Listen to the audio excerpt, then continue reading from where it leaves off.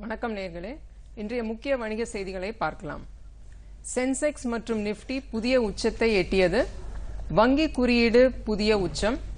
உலோக குறியீட்டில் முன்னேற்றம். சர்வதேச சந்தையில் தங்கம் மற்றும் வெள்ளி ஏறுமுகம். ஐரோப்பிய சந்தைகள் கீழ்நோக்கி வர்த்தகம். இனி நம் பங்குச் சந்தைகள் எவ்வாறு முடிந்தது என்பதை பார்க்கலாம். சென்செக்ஸ் ஒன்று புள்ளி பூஜ்ஜியம் ஒன்று சதவீதம் அதிகரித்து நாற்பத்தி ஓராயிரத்தி முன்னூத்தி ஐம்பத்தி இரண்டு புள்ளி ஒன்று ஏழில் முடிந்தது. நேற்றைய நிலையை விட நானூத்தி பதிமூன்று புள்ளி நான்கு ஐந்து புள்ளிகள் உயர்வு.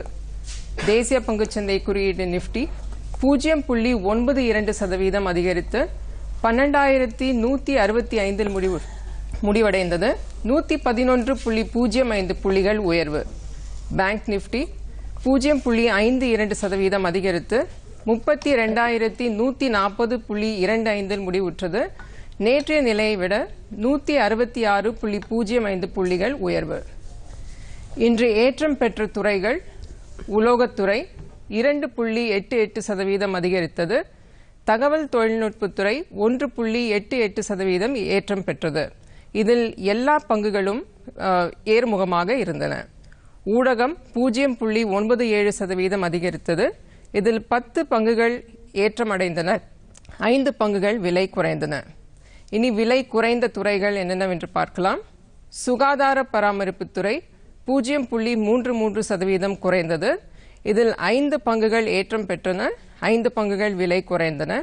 ரியாலிட்டி பூஜ்ஜியம் புள்ளி இரண்டு ஆறு சதவீதம் குறைந்தது. இதில் நான்கு பங்குகள் ஏற்றம் பெற்றன. ஆறு பங்குகள் விலை குறைந்தன. அமெரிக்க சந்தைகளை பற்றி பார்த்தோம் என்றால் நேற்று டவ் ஜோன்ஸ் இண்டஸ்ட்ரியல் ஆவரேஜ் பூஜ்ஜியம் புள்ளி நான்கு சதவீதம் ஏற்றம் பெற்றது. நாஸ்டாக் பூஜ்ஜியம் புள்ளி ஒன்பது சதவீதம் அதிகரித்தது. ஆசியாவில் இன்று நிக்கை பூஜ்ஜியம் புள்ளி நான்கு ஏழு சதவீதம் ஏற்றம் பெற்றது. ஹாங்செங் ஒன்று புள்ளி இரண்டு இரண்டு சதவீதமும் ஷாங்காய் ஒன்று புள்ளி இரண்டு ஏழு சதவீதம் ஏற்றம் பெற்றது. யூரோப்பில் தற்போது டாக்ஸ் பூஜ்ஜியம் புள்ளி ஐந்து ஐந்து சதவீதம் இறங்கியுள்ளது. கேக் பூஜ்ஜியம் புள்ளி மூன்று இரண்டு சதவீதமும் ஃபுட்சி பூஜ்ஜியம் புள்ளி பூஜ்ஜியம் மூன்று சதவீதம் ஏற்றத்தில் உள்ளது. தங்கம் வெள்ளி நிலவரத்தை பார்க்கலாம். தங்கம் இருபத்தி நாலு கேரட் ஒரு கிராம் மூவாயிரத்தி எண்ணூத்தி எட்டு ரூபாயாக இருந்தது. ஆபரண தங்கம் இருபத்தி ரெண்டு கேரட் ஒரு கிராம் மூவாயிரத்தி அறுநூத்தி இருபத்தி ஏழு ரூபாயும் ஒரு சவரன் எட்டு கிராம் இருபத்தி ஒன்பதாயிரத்தி பதினாறு ரூபாயாக அமைந்தது. வெள்ளி ஒரு கிராம் நாற்பத்தி ஏழு ரூபாய் எழுபது காசுகளில் வர்த்தகமானது. இனி விரிவான செய்திகளை பார்க்கலாம். உலக சந்தைகளின் ஏற்றத்தின் காரணமாக நம் பங்குச் சந்தைகளும் ஏறுமுகமாக முடிந்தன. சென்செக்ஸ் நிஃப்டி மற்றும் பேங்க் நிப்டி புதிய உச்ச நிலையில் முடிவுற்றன. சந்தை முடியும் சமயத்தில் உச்ச நிலைக்கு சென்றது. மும்பை பங்குச்சந்தையை பொறுத்தவரை நேற்று முடிவுற்ற நிலை நாற்பதாயிரத்தி தொள்ளாயிரத்தி முப்பத்தி எட்டு இன்று ஏற்றத்தில் துவங்கியது சென்செக்ஸ் நாற்பத்தி ஓராயிரத்தி ஐம்பத்தி இரண்டு. அதிகபட்ச நிலை நாற்பத்தி ஓராயிரத்தி நானூற்றி ஒன்று. குறைந்தபட்ச நிலை நாற்பத்தி ஓராயிரத்தி ஐந்து. இதில் இருபத்தி இரண்டு பங்குகள் ஏற்றம் பெற்றன. ஒன்பது பங்குகள் கீழ் நோக்கி முடிந்தன. அடுத்ததாக நிஃப்டியின் வரைபடத்தை பார்க்கலாம். நிஃப்டி நேற்று முடியும் சமயத்தில் பன்னெண்டாயிரத்தி ஐம்பத்தி மூன்றாக இருந்தது. இன்றைய துவக்க நிலை பன்னெண்டாயிரத்தி எண்பத்தி இரண்டு. அதிகபட்ச நிலை பன்னெண்டாயிரத்தி நூற்றி எண்பத்தி இரண்டு குறைந்தபட்ச நிலை பன்னிரெண்டாயிரத்தி எழுபது முடிவுற்ற நிலை பன்னிரெண்டாயிரத்தி நூற்றி அறுபத்தி ஐந்து. இதில் ஏற்றம் பெற்ற பங்குகள் முப்பத்தி ஒன்பது விலை குறைந்தவை பதினோரு பங்குகள். அடுத்ததாக பேங்க் நிஃப்டியின் வரைபடத்தை பார்க்கலாம். பேங்க் நிஃப்டி நேற்று முடியும் சமயத்தில் முப்பத்தி ஓராயிரத்தி தொள்ளாயிரத்தி எழுபத்தி நான்காக அமைந்தது. இன்றைய துவக்கம் முப்பத்தி ரெண்டாயிரத்தி எண்பத்தி இரண்டு அதிகபட்ச நிலை முப்பத்தி ரெண்டாயிரத்தி இருநூத்தி பதிமூன்று குறைந்தபட்ச நிலை முப்பத்தி ஓராயிரத்தி தொள்ளாயிரத்தி எண்பத்தி ஏழு. பேங்க் நிஃப்டியில் எட்டு பங்குகள் ஏற்றம் பெற்றன நான்கு பங்குகள் விலை குறைந்தன. நிஃப்டியில் ஏற்றம் பெற்ற பங்குகள் டாடா ஸ்டீல் நான்கு புள்ளி ஆறு சதவீதமும் பாரதி ஏர்டெல் நாலரை சதவீதமும் வேதாந்தா மற்றும் ஹிண்டால்கோ மூன்று புள்ளி மூன்று சதவீதமும் டாடா மோட்டார்ஸின் பங்கு இரண்டு புள்ளி ஒன்பது சதவீதம் ஏற்றம் பெற்றன. விலை குறைந்தவை. சன் ஃபார்மா ஒன்று புள்ளி இரண்டு ஐந்து சதவீதம் இறங்கியது. கெயில் பூஜ்ஜியம் புள்ளி எட்டு ஏழு சதவீதமும். பஜாஜ் ஆட்டோ பூஜ்ஜியம் புள்ளி ஆறு ஆறு சதவீதமும். எம்என்டம் பூஜ்ஜியம் புள்ளி ஆறு சதவீதமும். டைட்டனின் பங்கு பூஜ்ஜியம் புள்ளி நான்கு சதவீதம் கீழ்நோக்கி முடிந்தது. இன்று ஐம்பத்தி ரெண்டு வார உச்சத்தை எட்டிய பங்குகள் ஆபட் இந்தியா டிஎல்எஃப் கிறிசில் மற்றும் மகாநகர் கேஸ் ஐம்பத்தி ரெண்டு வார குறைந்தபட்ச நிலைக்கு வந்த பங்குகள் Nahar spinning mills Navneet education supreme petrochem மற்றும் விஷால் ஃபேப்ரிக்ஸ்.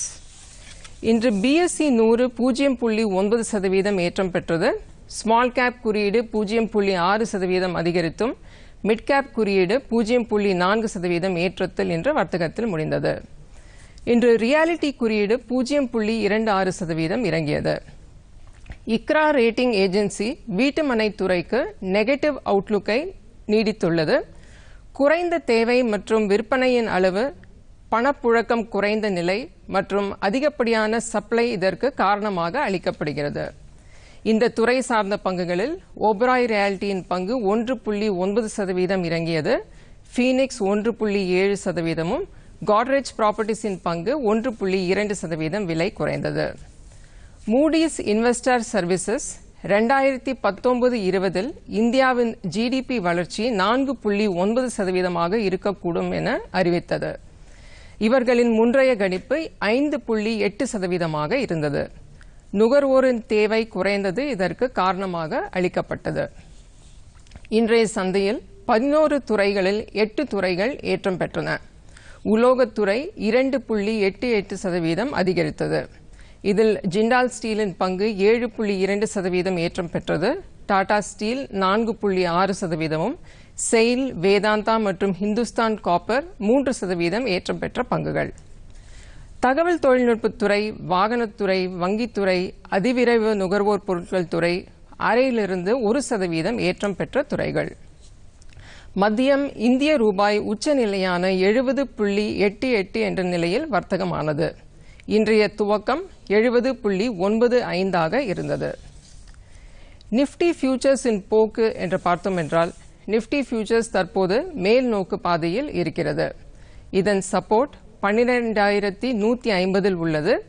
இதன் ப்ரொஜெக்ஷன் என்று பார்த்தோம் என்றால் பன்னிரெண்டாயிரத்தி இருநூத்தி பத்து மற்றும் பன்னிரெண்டாயிரத்தி இருநூத்தி முப்பதில் அமைகிறது. பேங்க் நிப்டியின் ஃபியூச்சர்ஸ் போக்கை பொறுத்தவரை பார்த்தோம் என்றால் தற்போது ஒரு மேல் நோக்கு பாதையில் இருக்கிறது. ஆனால் தற்போது டைவர்ஜென்ஸ் காணப்படுகிறது. விலை ஏறும் பட்சத்தில் ஆதாய பதிவு செய்வது நல்லது. இதன் சப்போர்ட் முப்பத்தி ரெண்டாயிரத்தி ஐம்பத்தி ஐந்தில் இருக்கிறது.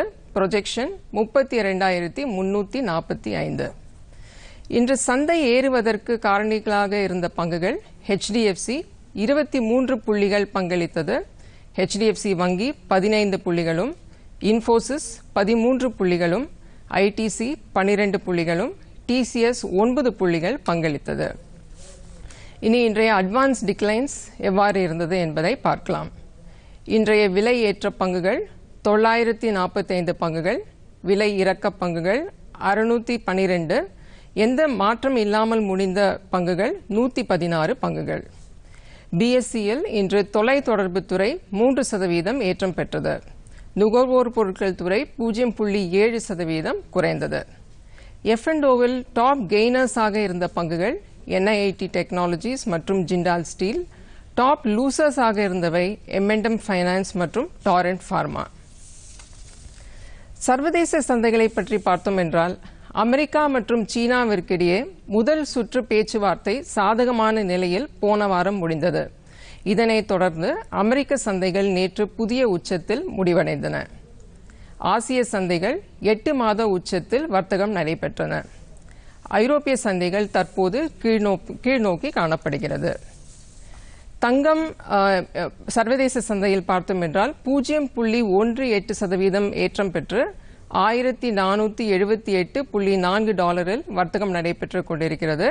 வெள்ளியை பொறுத்தவரை பூஜ்ஜியம் புள்ளி ஒன்று எட்டு சதவீதம் விலை ஏற்றம் பெற்று பதினேழு புள்ளி பூஜ்ஜியம் ஐந்து டாலரில் வர்த்தகம் நடைபெற்றுக் கொண்டிருக்கிறது. கச்சா எண்ணெய் நேற்று மூன்று மாத உச்சத்தில் வர்த்தகமானது. இன்று பக்கவாட்டு போக்கிலே காணப்படுகிறது. அறுபது புள்ளி ஒன்று ஐந்து அமெரிக்க டாலரில் வர்த்தகம் நடைபெற்றுக் கொண்டிருக்கிறது. லண்டன் உலோக சந்தையில் ஒரு மிக்சட் போக்கே காணப்படுகிறது. அலுமினியம் பூஜ்ஜியம் புள்ளி மூன்று சதவீதம் குறைந்துள்ளது. ஜிங்க் பூஜ்ஜியம் புள்ளி எட்டு சதவீதம் ஏற்றத்திலும் தாமிரம் பூஜ்ஜியம் புள்ளி இரண்டு சதவீதம் அதிகரித்து தற்போது வர்த்தகத்தில் உள்ளது. என்சிடிஎக்ஸில் அக்ரிக் குறியீடு இன்று ஐந்து மணி அளவில் அரை சதவீதம் ஏற்றம் பெற்று மூவாயிரத்தி ஐநூத்தி இருபத்தி ஒன்றில் வர்த்தகமானது. விலை ஏறியவை குவார்கம் ஐந்து மெட்ரிக் டன் டிசம்பர் மாத ஒப்பந்தம் இரண்டு சதவீதம் ஏற்றத்திலும் ஜனவரி மாத ஒப்பந்தம் ஒன்றரை சதவீதம் ஏற்றத்தில் தற்போது உள்ளது. விலை குறைந்தவை. சன்னா மே மாத ஒப்பந்தம் ஒன்று புள்ளி ஏழு சதவீதம் குறைந்துள்ளது. ஜீரகம் ஏப்ரல் மாத ஒப்பந்தம் ஒன்று புள்ளி ஒன்று இரண்டு சதவீதம் கீழ்நோக்கி உள்ளது. பிரின்ஸ் பைப்ஸ் அண்ட் ஃபிட்டிங்ஸின் ஐபிஓ நாளை துவங்குகிறது. இதற்கு விண்ணப்பிக்க கடைசி நாள் இருபது டிசம்பர். இதன் பிரைஸ் பேண்ட் நூற்றி எழுபத்தி ஏழிலிருந்து நூற்றி எழுபத்தி எட்டு ரூபாயாக அமைகிறது. குறைந்தபட்சம் எண்பத்தி நான்கு பங்குகளுக்கு விண்ணப்பிக்க வேண்டும். பிற செய்திகள் என்ற வகையில் பார்க்கும்போது ரிலையன்ஸ் இண்டஸ்ட்ரீஸ் மற்றும் பிரிட்டிஷ் பெட்ரோலியம் இருக்கிடையே ஒப்பந்தம் ஏற்பட்டுள்ளது. ரிலையன்ஸின் பங்கு இன்று பக்கவாட்டிலே முடிவுற்றது. வரும் நாட்களில் உலக சந்தைகளின் தாக்கம் மற்றும் இந்திய ரூபாயின் போக்கு நம் பங்கு சந்தைகளின் போக்கை தீர்மானிக்கும். மீண்டும் சந்திப்போம். நன்றி. வணக்கம்.